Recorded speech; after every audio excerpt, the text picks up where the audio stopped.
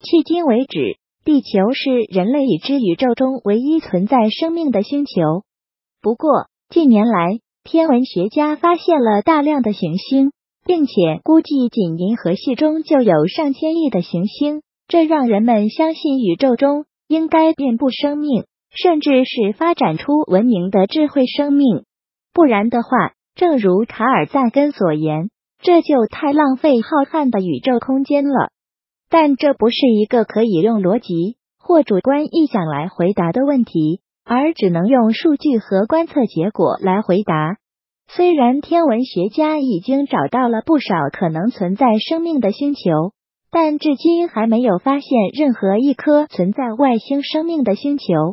在整个宇宙中，人类以及其他地球生命有可能真的是孤独的存在。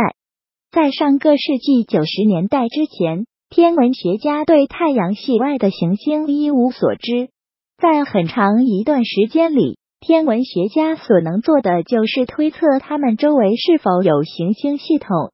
时至今日，天文学家知道每颗恒星周围可能都有一颗行星，所以拥有数千亿颗恒星的银河系可能包含数千亿颗行星，而且整个可观测宇宙中至少还有数千亿个星系。总的来说，在可观测的宇宙中，大约有一亿亿亿时的二十四次方颗恒星。随着观测技术的进步，通过凌日法、视像速度法和直接成像法，天文学家已经搜寻到了大量的系外行星。根据统计数据，大约百分之八十到百分之一百的恒星都有行星或与之相关的行星系统。大约百分之二十到百分之二十五的行星系统中存在一颗运行在宜居带中的行星，这意味着它们表面可以维持液态水存在。在这些潜在宜居的行星中，大约百分之十至百分之二十的系外行星的质量和尺寸类似于地球。另外，大约五分之一的恒星是橙矮星、黄矮星和黄白矮星，它们的质量。光度和寿命都与太阳相似。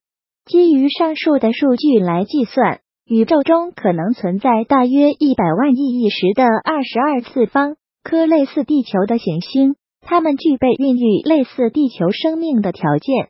仅在银河系中，就可能有多达数十亿颗行星存在类似地球的生命。不过，拥有具备孕育生命条件的行星，并不一定能保证。真的有生命可以进化出来？即使生命真的出现了，它们持续存在、变得复杂以及分化的可能性有多高？除此之外，那些生命能否进化成智慧生命，并发展出文明？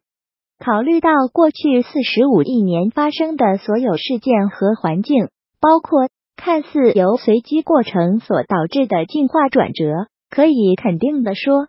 地球上生命演化的方式在宇宙中是独一无二的。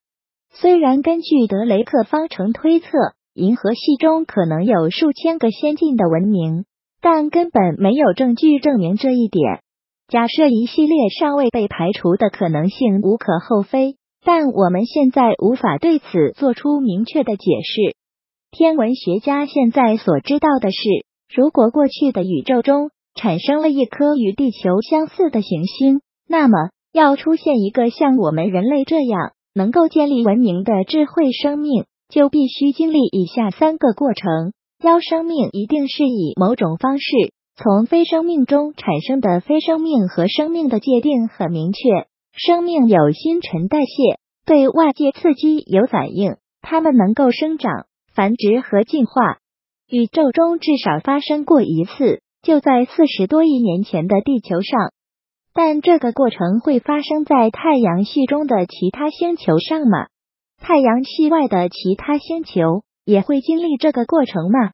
在银河系数十亿颗行星中，或者在可观测宇宙的一百万亿亿颗行星中，这种情况发生的频率有多高？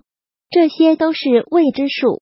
二。原始生命必须进化成复杂的多细胞生命。数十亿年来，地球上的生命都是单细胞的，而且相对简单。一代又一代的复制错误提供了基因变异、生物灭绝事件和选择压力，在地球上也促进了生命进化。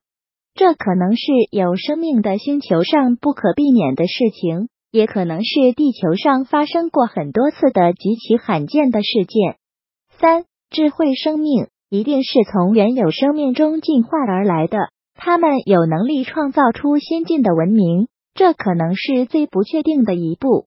自寒武纪生命大爆发以来，已经过去了五亿多年，但直到最近几百年。地球上的生命才发展出一定的科技水平，诸如我们这样的生命，可能在宇宙中是普通存在的，但也有可能我们是可观测宇宙范围内唯一的特例。虽然人类现在对宇宙已经有所了解，但如下的问题至今还是未知的：生命如何起源？生命在一颗星球上孕育出的可能性有多少？如果生命真的出现了，它们又有多少的可能性会变得复杂，并最终进化成智慧生命？智慧生命发展出科技并进入太空的可能性又有多高？在整个宇宙中，除非我们发现了外星生命，否则生命的唯一例子可能就是我们自己。如果喜欢本视频，请分享并订阅本频道，别忘了按赞我。